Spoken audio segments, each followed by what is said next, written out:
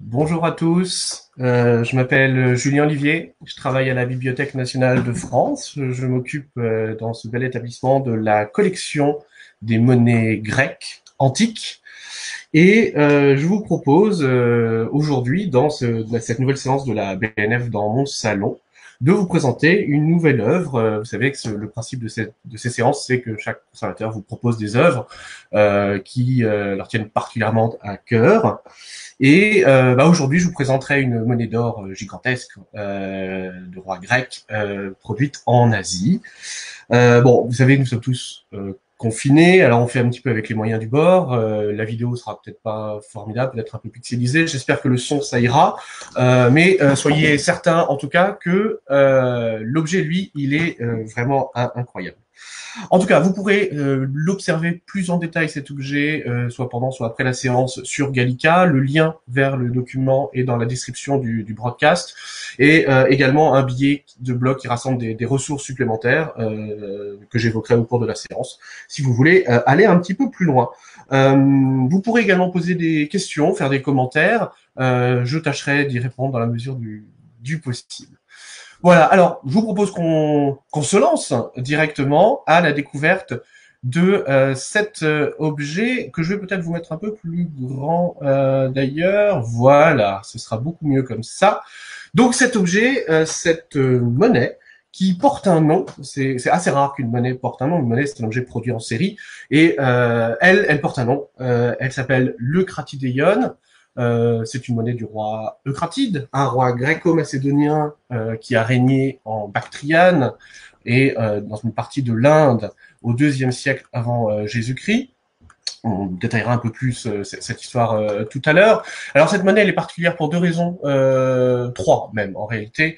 La première c'est qu'elle est unique. La deuxième c'est que c'est la plus lourde monnaie d'or connue, antique en tout cas connue à ce jour. Euh, et euh, la troisième, qui est plus euh, savoureuse, on va dire, c'est qu'en plus de, de, de, de, tout, de tout cela, elle a euh, une histoire assez, assez rocambolesque. Donc, je vous propose, euh, au cours de cette séance, d'abord, bah, on va décrire hein, cet objet, voir un petit peu à quoi il euh, ressemble, comment il a, euh, à quoi, à quoi il ressemble donc, euh, à travers le document numérique. J'essaierai de vous présenter un petit peu le contexte de l'émission de cette monnaie, c'est-à-dire l'histoire des euh, royaumes gréco-macédoniens de Bactriane euh, et d'Inde. Et euh, évidemment, il faudra quand même évoquer la question de l'utilité de, de cette monnaie. À quoi, à quoi ça sert de frapper une monnaie aussi lourde Je vous ai pas encore donné le poids, mais il est quand même assez surprenant. Euh, et euh, enfin, on évoquera bah, la question euh, de l'acquisition par la Bibliothèque nationale de cette monnaie en 1867, à l'issue d'une histoire assez rocambolesque qui a été euh, racontée, euh, notamment dans euh, plusieurs journaux en Angleterre et aux, aux États-Unis. Alors, donc voici l'objet en question. Avant de, détailler sa, description, je vous propose de jeter un bref coup d'œil à cet article, euh, qui est la première mention publiée a priori de, cette monnaie. C'est un article du conservateur du cabinet des médailles, donc à la Bibliothèque nationale, en 1867, qui évoque l'acquisition de l'Eucratidion, euh, très récente à l'époque, donc euh, ça fait quelques mois à cette époque-là. Euh, alors bon, je passerai rapidement sur l'article. Retenir simplement qu'en en deuxième page, il évoque les mensurations de la monnaie. Alors ça y est, on a le poids 168 grammes, c'est gigantesque, 58 millimètres, et il dit euh, que cet objet sera extrêmement célèbre parce que tout à fait incroyable, jamais vu, et il évoque à un moment, voilà, un monstre de la numismatique. Euh, c'est le surnom qui lui reste d'ailleurs dans certains dans certains milieux, un monstre de la numismatique, cet objet euh, tout à fait euh, incroyable. Ce monstre, il entre dans les collections. Vous avez ici un extrait d'un registre d'acquisition de la Bibliothèque nationale. Ce registre, vous avez ici l'entrée 3600 3605 qui date du 18 juillet 1867 et qui dit que à Monsieur Feuardent, Monsieur Rollin et euh, ont, a, été acquis euh, auprès, auprès d'eux, donc a été acquis une monnaie d'or du poids de 20 statères, de cratite de Bactriane. Il y a une description complète. Le poids semblait tellement euh, étonnant que la personne qui a rédigé a oublié le 1 devant euh, le, le 1 de la centaine. C'est pas 68 grammes 50, mais bien 168 grammes, en réalité 169 grammes. Et euh, le tout avec le prix à la fin. Donc voilà formellement l'acquisition de cet objet incroyable que voici à présent accessible, disponible sur Gallica. Donc je me propose de vous le décrire cet objet. Euh, et tout d'abord euh, le droit, donc la, face principale de, la monnaie, celle où on trouve le portrait euh, du souverain. Vous avez euh, sur cette euh, sur cette monnaie donc le, la tête du roi Eucratide, on verra son nom est écrit en revers. alors le, le, portrait est assez détaillé, le, portrait de sa puissant, avec le, nez alors légèrement aquilin, le, menton puissant, on, distingue bien les petites mèches de cheveux, l'oreille, etc. Ce roi est casqué, c'est un casque militaire macédonien avec un cimier que vous voyez ici.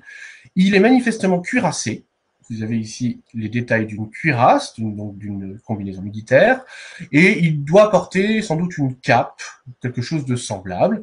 Et petit détail, euh, vous avez ici un roi qui possède une corne et une oreille de taureau, qui est sans doute euh, un indice de sa divinisation, euh, en tout cas de son héroïsation. Donc voilà, au droit, le tout entouré d'un green tea, vous voyez, c'est un petit motif décoratif qui encadre le portrait euh, du souverain. Au revers, au revers, vous avez d'abord une légende, une inscription, euh, effectivement le plus souvent au revers des monnaies euh, grecques. cette inscription, je vous la lis, Basileos Megalou Eucratidou. Donc Basileos Megalou, c'est le grand roi, du grand roi. Eucratidou, c'est assez transparent, je crois, Eucratide. Donc, inscription qui signifie cette monnaie est la monnaie de du grand roi, Eucratide. Et le type principal, euh, on voit deux cavaliers chargeant. Vous avez ici des lances au point. Euh, on peut les identifier, ces cavaliers, car ils portent un bonnet surmontés d'une étoile, chacun, vous le voyez ici, ce sont en fait les Dioscures, Castor et Pollux pour les Romains, euh, qui euh, donc sont des divinités plutôt à vocation militaire, d'ailleurs ils sont voilà, ici chargeants euh, en armes, et ici porteurs de la victoire, comme le signal la palme que chacun d'eux porte sur l'épaule.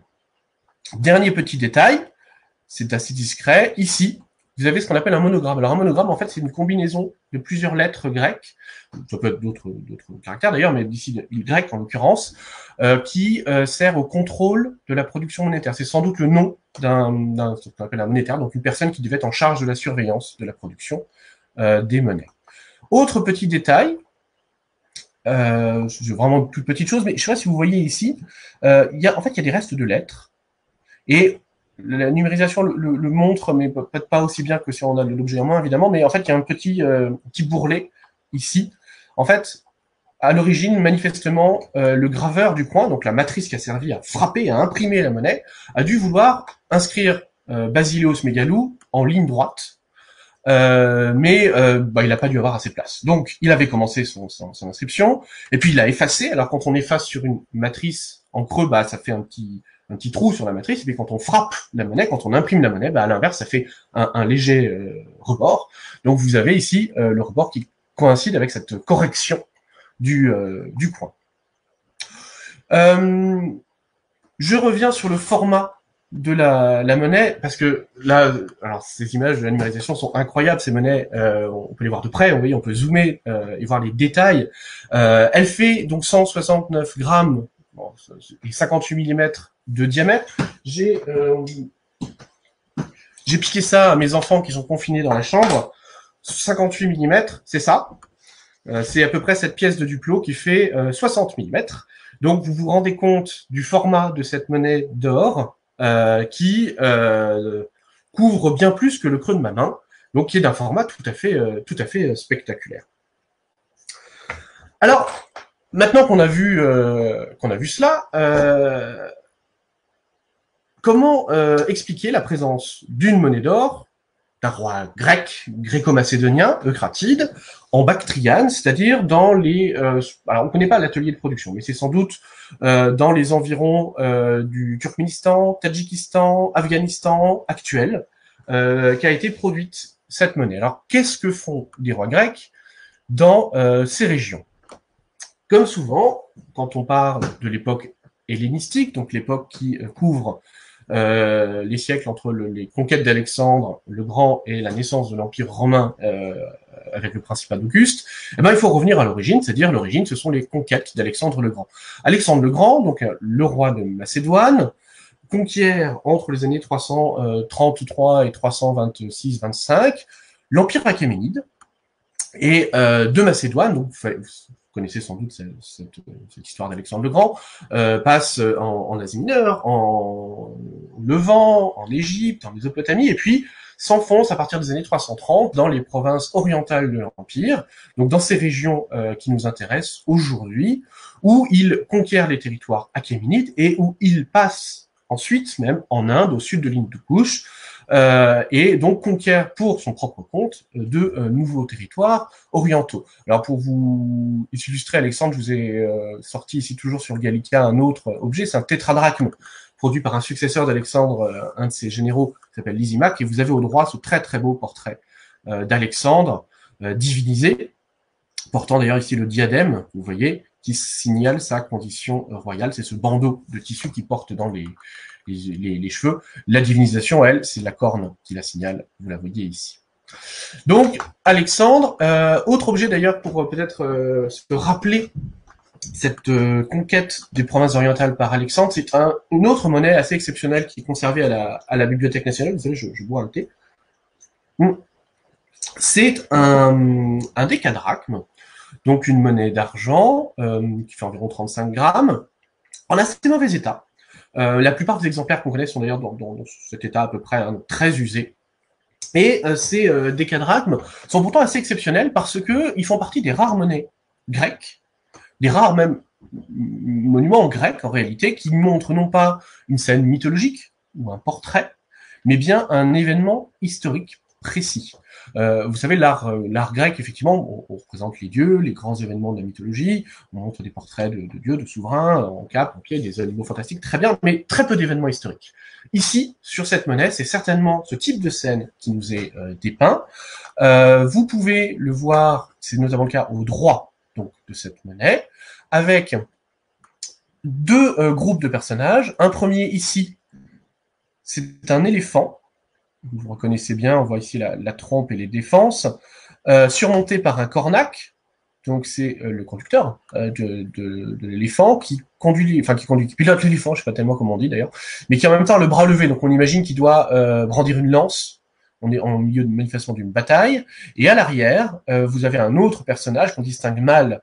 en tout cas, sa tête est très très floue, mais on voit son corps ici, et on voit qu'il a ici le, le bras qui semble arrêter euh, une lance tenue par un cavalier qui est à l'arrière, avec un cheval euh, cabré. On voit très mal le cavalier, mais euh, cette scène est dépeinte dans plusieurs textes antiques. En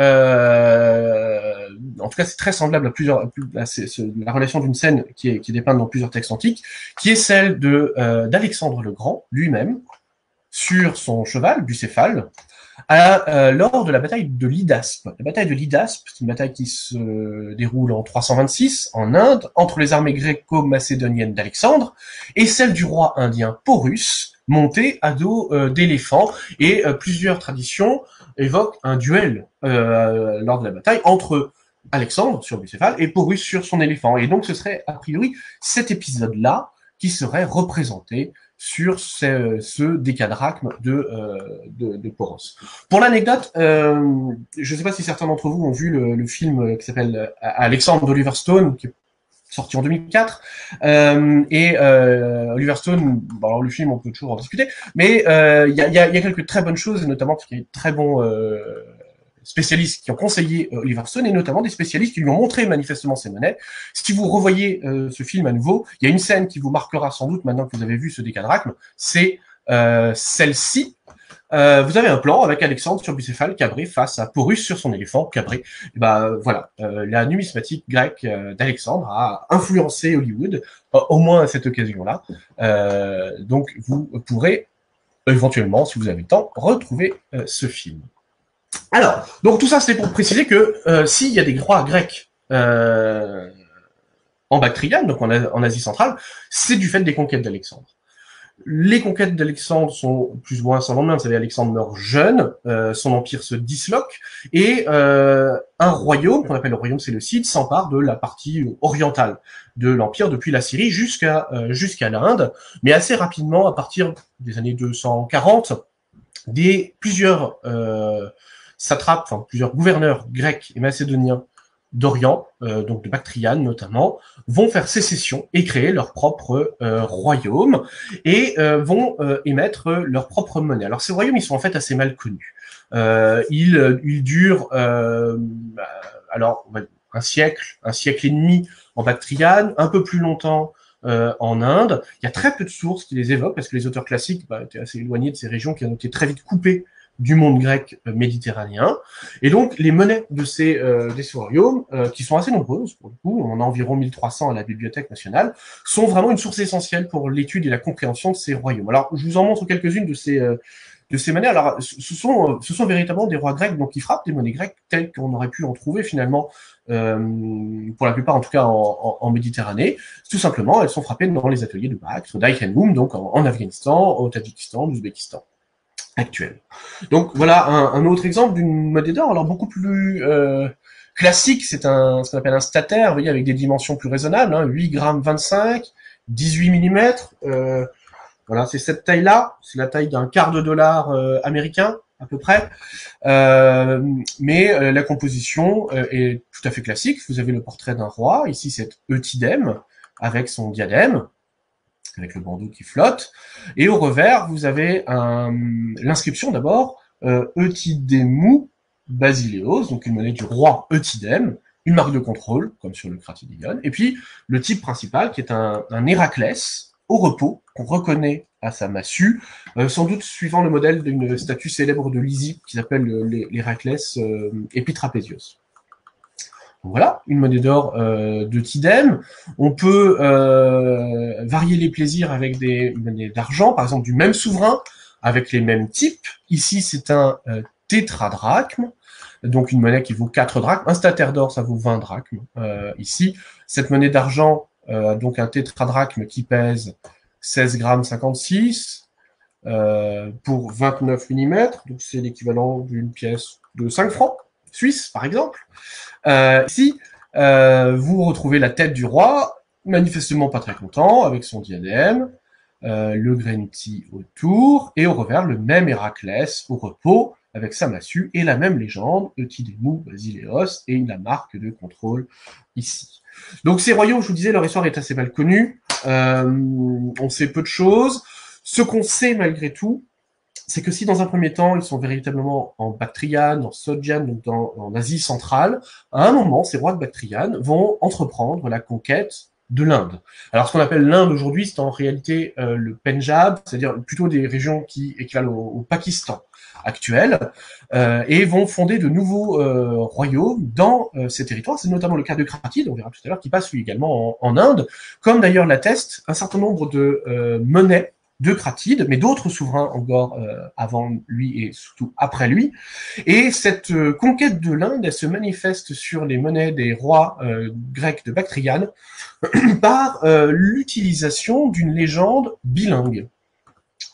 et en grec, pour les, bah, pour les soldats qui sont principalement des Grecs manifestement, qui doivent être payés avec ces soldats. Donc ici sur cette monnaie de cuivre euh, donc de bronze même plus probablement, euh, qui fait, voyez, 8 grammes 30, qui pèse 8 grammes 30 et qui mesure entre 21 et 20 mm, hein, c'est un carré, euh, donc la même taille, hein, c'est toujours à peu près cette taille-là.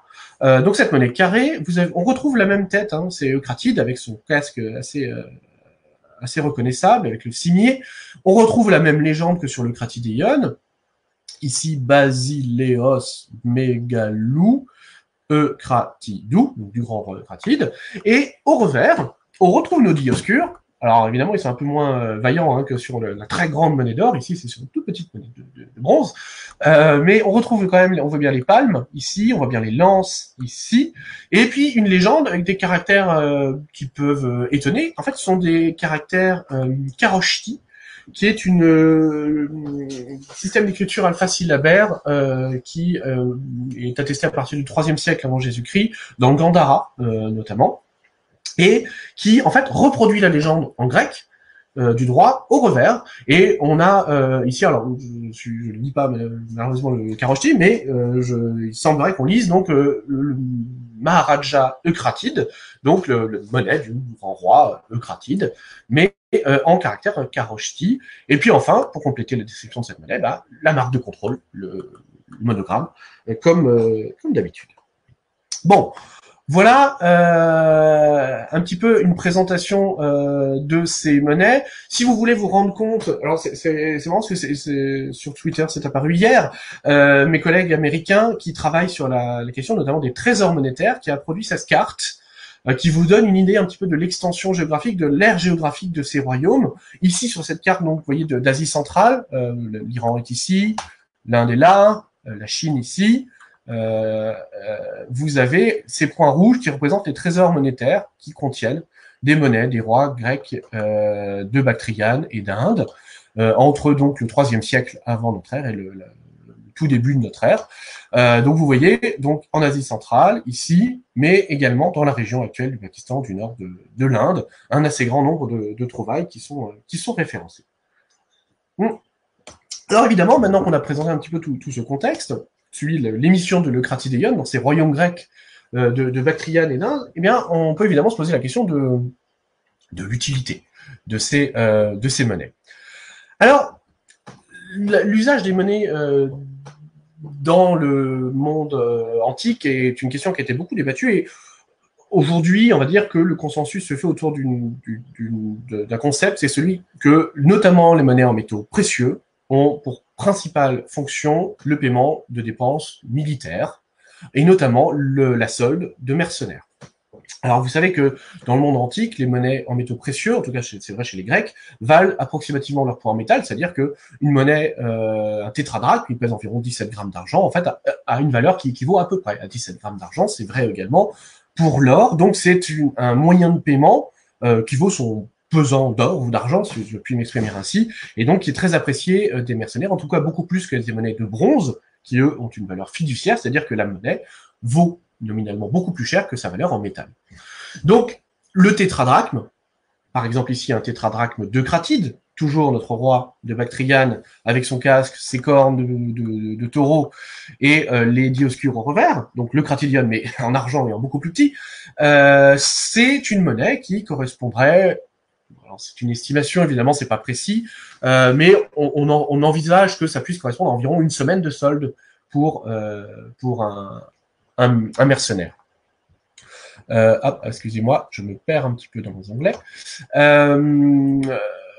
on a vu un stataire d'or de Tidem tout à l'heure. le stataire d'or de Tidem, il vaut 20 drachmes on pense que c'est cette fois plutôt en quatre semaines, peut-être un, peu plus d'un mois de solde euh, pour un, mercenaire. L'or vaut dix fois plus cher que l'argent dans le monde grec, hein, donc évidemment même la monnaie est plus petite, évidemment, mais le métal fait qu'elle vaut beaucoup plus cher. Euh, donc, euh, qu'en est-il de l'Eucratidéion Alors l'Eucratidéion, euh, le il pèse 169 grammes. C'est bien une monnaie, c'est pas une médaille, parce que 169 grammes, c'est le poids exact d'une monnaie de 20 statères. Donc, le statère de Tidem qu'on a vu tout à l'heure, c'est un statère, soit 20 drachmes.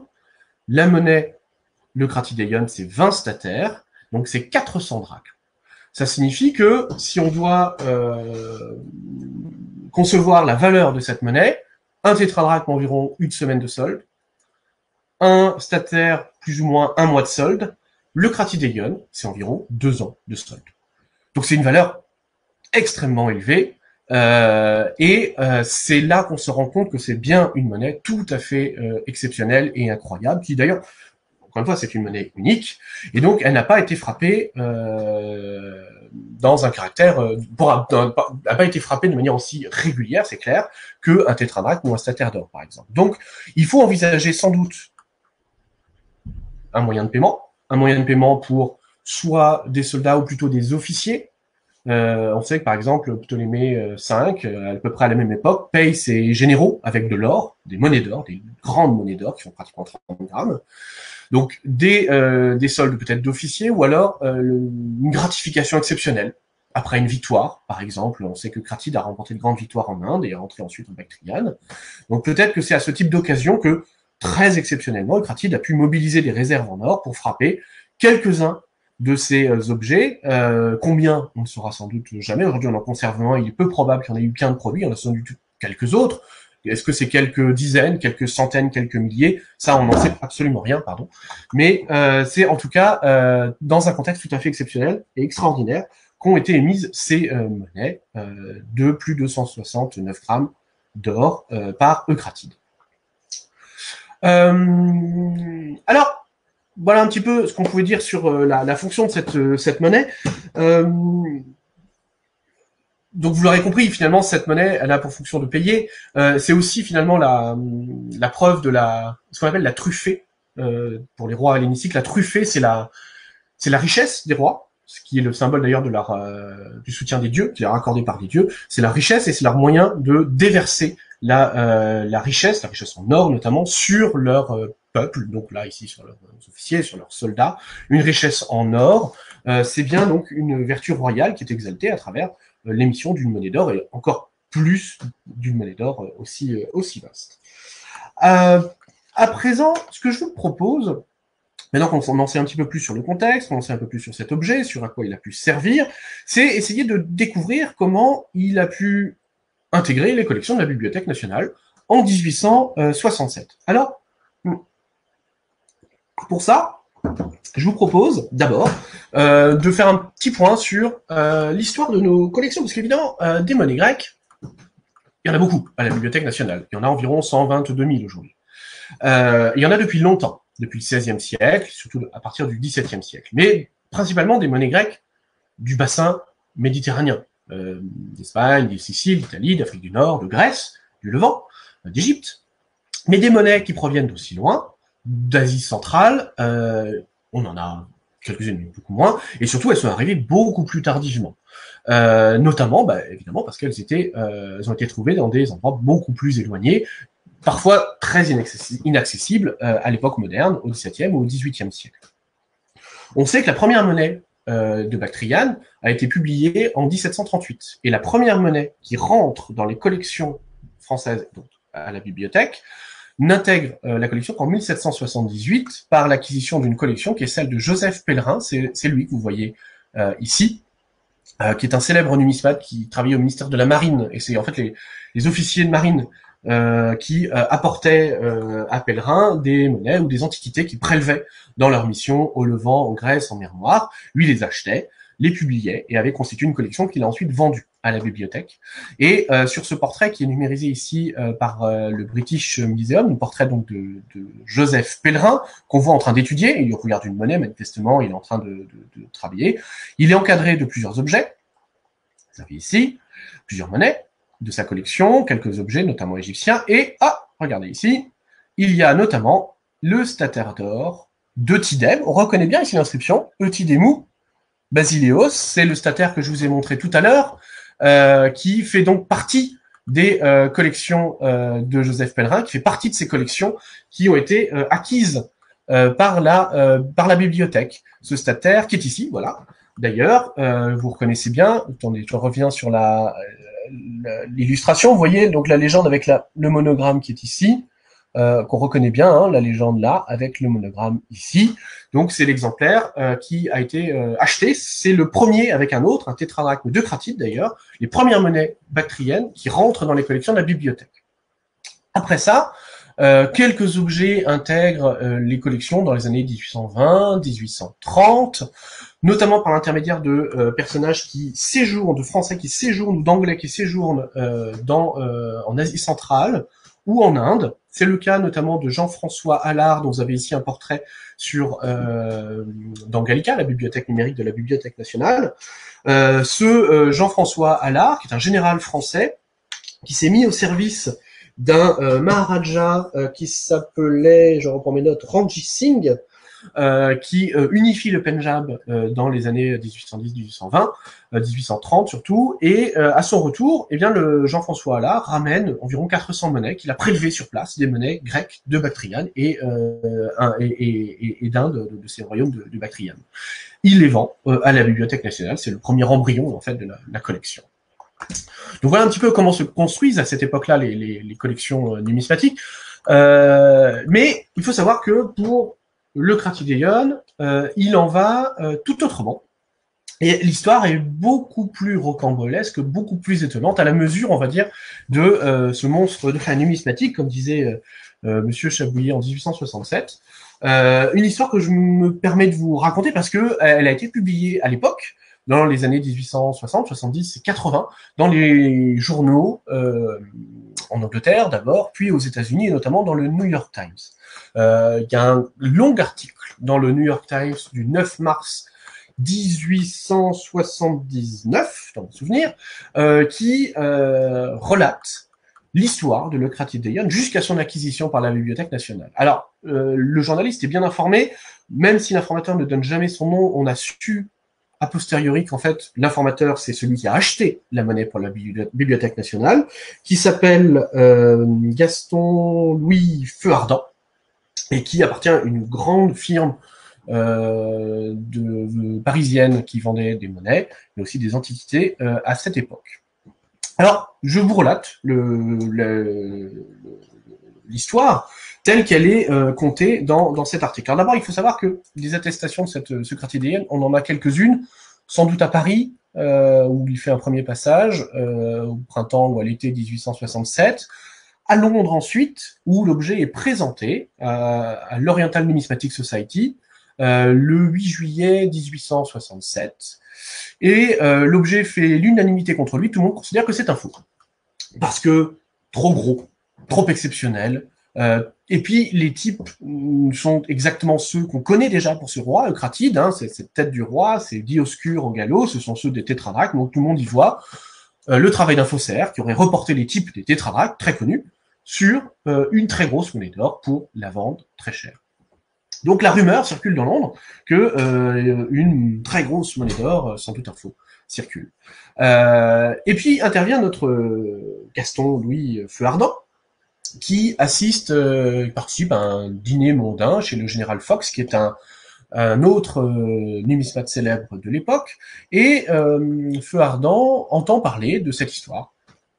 Et euh, c'est amusant ce que l'article dit, euh, tout de suite il a été pris d'une d'une fièvre numismatique. Une fièvre numismatique qui fait que, malgré ses très bonnes manières, il demande à son hôte, général Fox, de pouvoir euh, sortir de table, quitter euh, ce dîner avant, avant son issue, euh, et pour aller recueillir cette, en tout cas voir cette monnaie.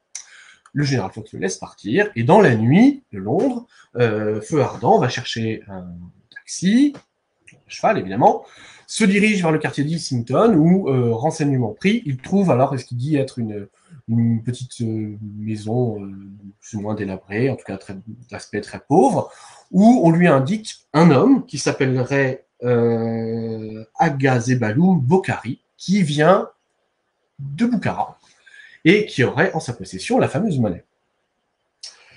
Euh, Gaston Louis Fardant dit euh, cet homme était petit, il avait des petits yeux noirs, euh, donc il le décrit comme très stressé, fumant cigarette sur cigarette.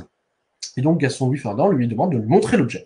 Et euh, l'homme de Boukhara lui montre l'objet, et là le, le, texte de l'article est assez amusant, il dit, bon, il décrit l'homme en train de montrer l'objet, en fait il, il le sort de sous son aisselle, et euh, l'homme avait confectionné une, une pochette en cuir qu'il avait dissimulée sous son aisselle, et il gardait l'objet en permanence ici de peur de se faire voler.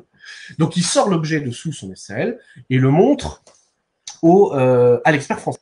Et en même temps, il raconte l'histoire. Euh, et donc, l'homme de Boukhara raconte l'histoire de la découverte de cet objet, qui aurait, alors on sait pas très bien, plusieurs traditions, qui aurait été découverte près de Merv, euh, Merv en Ouzbékistan, euh, de Merv en Turkménistan, pardon, ou de Boukhara au euh, Ouzbékistan, par sept paysans, dont lui-même. Or, la découverte de l'objet a dû susciter un certain émoi, et les dagues, les couteaux seraient sortis, et les sept hommes se sont battus pour garder l'objet. À l'issue de la bagarre, il y a cinq morts et deux survivants, dont l'homme de Boukhara et un autre, qui se mettent d'accord en disant bon, euh, on va arrêter de s'entretuer, on va euh, décider que euh, l'un, donc l'autre homme qu'on ne connaît pas, reste à Boukhara.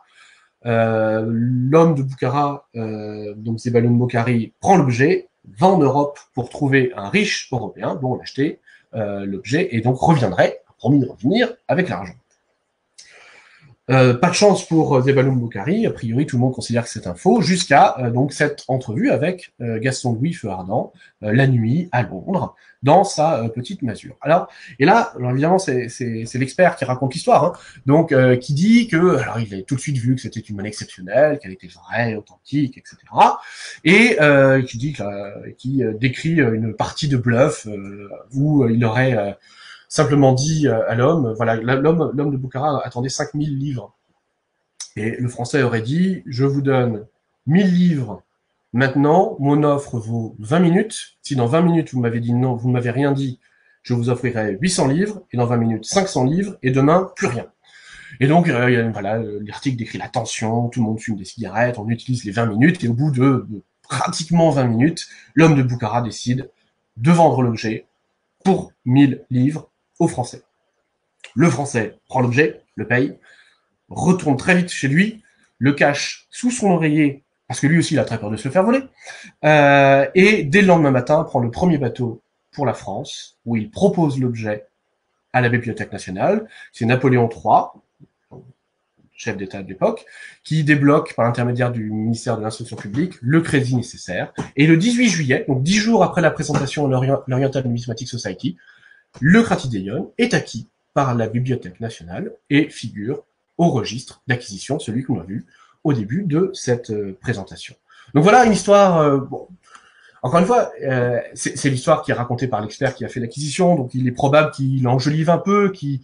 Mais moi j'aime bien cette histoire, elle est savoureuse et je trouve qu'elle est vraiment à la hauteur de du caractère exceptionnel de, de cette monnaie d'or des rois grecs, qui est à la fois le témoin de la richesse de ces rois grecs, mais aussi de leur existence, d'un royaume grec aux confins euh, de l'Asie centrale et euh, de l'Inde euh, entre le IIIe siècle et le 1er siècle avant notre ère. Donc un objet exceptionnel à tout point de vue que vous pouvez toujours consulter sur Gallica, l'invite, que vous pourrez également bientôt découvrir dans le futur musée de la Bibliothèque nationale de France. Voilà euh, pour euh, ce qui est de, cette présentation. Je, ne sais pas si vous avez euh, des questions ou des commentaires. En tout cas, je vous invite à me poser toutes les questions que vous voulez et je tâcherai d'y répondre dans la mesure du possible.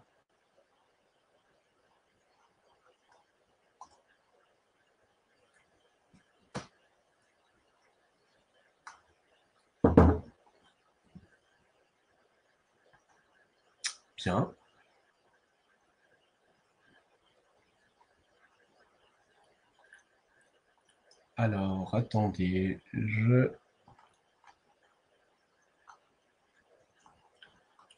Alors, a priori, il n'y a pas de questions particulières.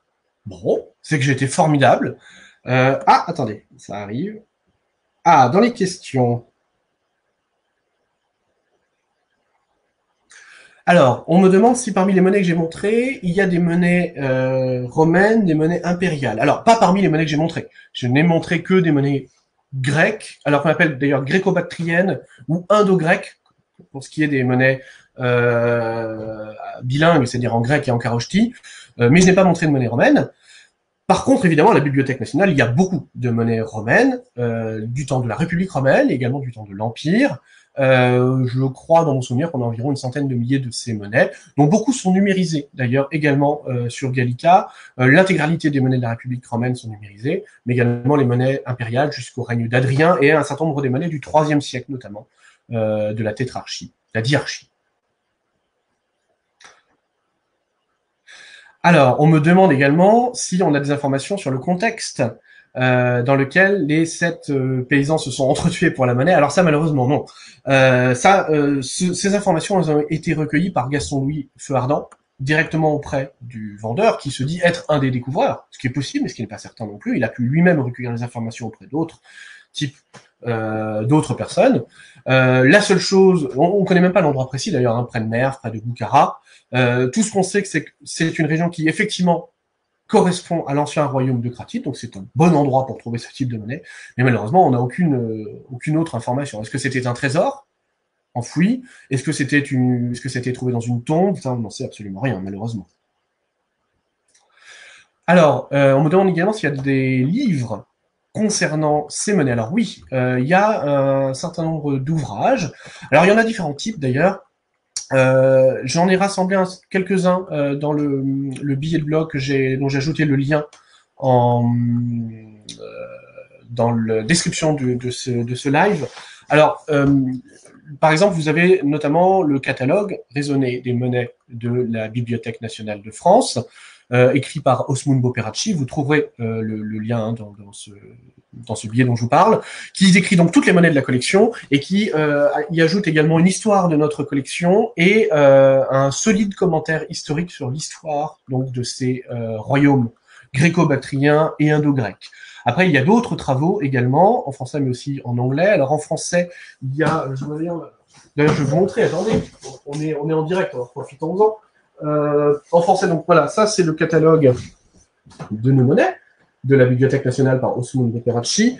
Récemment, un ouvrage qui était qui paru également, un ouvrage de numismatique qui s'intitule Les Grecs en Inde, donc qui évoque la numismatique, et euh, d'autres ouvrages, notamment de Francis, de Frank Holt, pardon, euh, que j'ai signalé également dans le billet, qui parle de l'or des, des, rois grecs de Bactriane, et avec notamment un très beau chapitre sur l'histoire de l'Eucratidéon, l'histoire de sa découverte.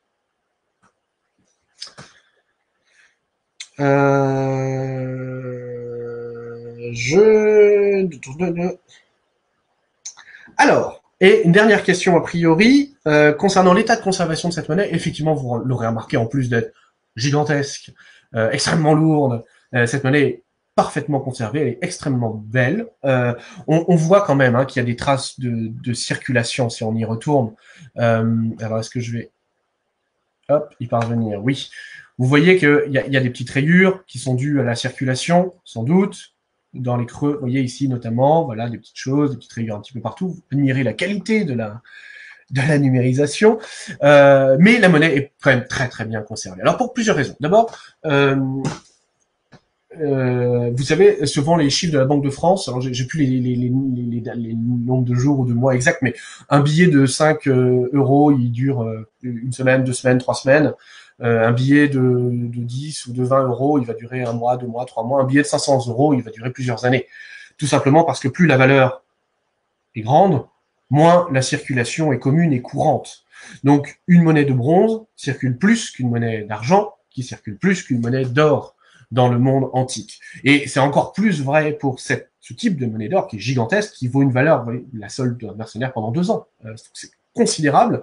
Et donc ces monnaies, on les reçoit mais c'est pas fait pour être dépensé euh, comme ça. Euh, la monnaie de cuivre bilingue que je vous ai montré, ça, ça sert à acheter un peu d'huile, un peu, de farine, un peu de vin.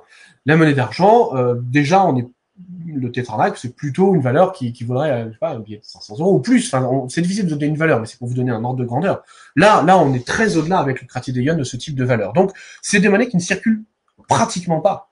Et donc, le récipiendaire l'a eu, il l'a précieusement gardé, et euh, il l'a enfoui dans un trésor, il l'a mis dans sa tombe, on ne sait pas exactement où elle a été trouvée, mais, mais en tout cas, elle a manifestement très peu circulé. C'est une réserve de valeur, plus qu'une monnaie qui sert à circuler. Alors attendez, j'ai une nouvelle question. Alors, oui, euh, on, demande également si certaines de ces monnaies ont pu continuer à circuler après, euh, après la, la, disparition des royaumes grecs de Bactriane. Alors oui, c'est sans doute le cas. Alors, je suis pas tout à fait un expert en, l'occurrence, mais euh, notamment pour les monnaies en métaux précieux qui continuent à valoir leur poids en métal en l'occurrence, on sait qu'elles ont pu continuer à être utilisées dans les territoires euh, occupés par les Grecs en Bactriane et en Inde, même si le royaume avait disparu euh, comme moyen d'échange. D'ailleurs, dans certaines de ces régions, notamment en Inde ou en Bactriane, des, les États qui ont succédé aux Grecs de Bactriane ont aussi adopté euh, la monnaie. C'est le cas notamment euh, de l'Empire couchant, qui a commencé à produire des monnaies en or, en argent et en, bronze, suivant le modèle des royaumes grecs de Bactriane, d'abord en grec, puis avec d'autres d'autres langues. Et d'ailleurs, c'est sur certaines de ces monnaies qu'on retrouve des représentations de Bouddha, les premières représentations de Bouddha, avec euh, le nom Bouddha inscrit en, avec des caractères grecs, un bodo, et donc en tout cas un, une tradition qui clairement vient du monde grec. Donc ces monnaies ont pu continuer à circuler après. Euh, ce qui est d'ailleurs pas tout à fait euh, exceptionnel parce que vous savez, on a plusieurs récits euh, qui évoquent au début du XXe siècle, en France encore, l'utilisation de grands bronzes de sesterces romains très usés, notamment dans certaines campagnes françaises, parce que ces grands bronzes romains ressemblaient finalement assez à, aux monnaies de, de, cuivre, de bronze produites à l'époque. Et donc, on pense que dans certaines régions en France, au début du XXe siècle, la fin du XIXe siècle, on pouvait encore utiliser des monnaies romaines. On ne savait pas forcément que c'était des monnaies romaines, mais ça ressemblait à une monnaie, donc on l'utilisait comme une monnaie. Donc on peut tout à fait envisager de, ce type d'usage euh, pendant une assez longue durée, mais euh, malheureusement pas, pas, pas, pas, précisément. Alors on me demande également si on connaît l'atelier. Alors l'atelier pour qui a servi à frapper, non, on ne le connaît pas. Euh, il y, a, y, a, plusieurs candidats et il y a sans doute des candidats qu'on ignore. Bactre, qui est la, grande ville euh, de la région, Aïkanoum, une autre grande cité grecque de la région, ont pu être des ateliers où aurait été produit euh, le kratidéion. Euh, après, le problème, c'est que vous voyez, quand on regarde, euh, quand on regarde cette monnaie, euh, je vais aller voir, attendez, on va retourner au revers. Donc au droit, il n'y a pas d'inscription, il n'y a rien de particulier. Au revers, hop, il n'y a pas de marque qui permettent d'identifier l'atelier. Il y a le nom du roi, il y a la marque qui doit correspondre au nom d'un personnage qui contrôle la production, mais rien concernant l'atelier. Alors, soit effectivement c'est un des deux grands ateliers qu'on connaisse, Bact ou Icanum, ça peut être un autre atelier ouvert euh, exceptionnellement pour l'occasion. Vous savez, produire une monnaie, c'est pas très compliqué. Hein. Euh, il vous faut du métal, un four, vous fondez votre métal, quelqu'un pour graver des coins ou des coins que vous avez emmenés avec eux, donc des matrices gravées en creux, une enclume, deux types assez costauds. Euh, vous positionnez sur l'enclume votre coin de droit, vous mettez la rondelle de métal que vous avez fondue sur le coin de droit. Une personne, pour vous, très courageuse, tient le coin de revers au-dessus, et un grand costaud tape un grand coup de masse dessus, et vous avez frappé une monnaie.